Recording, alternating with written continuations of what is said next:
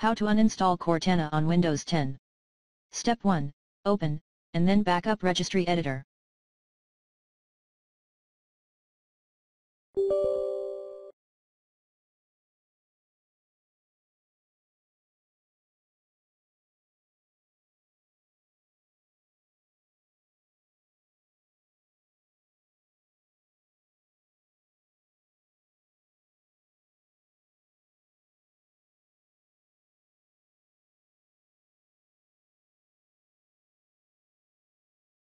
Step 2, navigate to hkey underscore local underscore machine backslash software backslash policies backslash Microsoft backslash Windows backslash Windows search.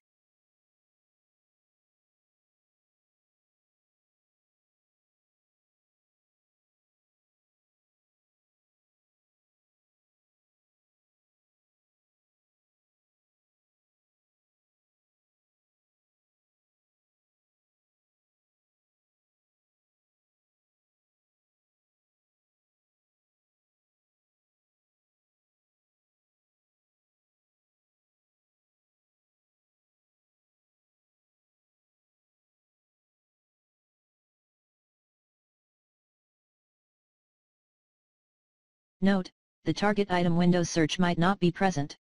In that case you'll need to right-click the Windows directory and select New Key. Name that project as Windows Search.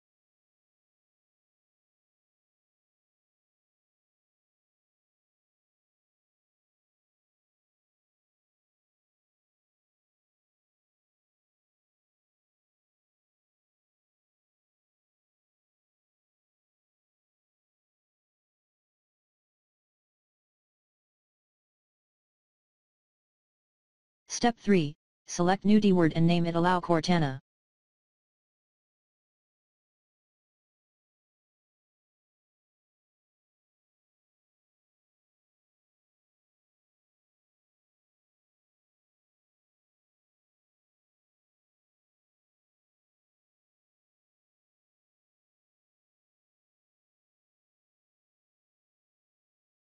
Step 4, set number 00 to that item you created.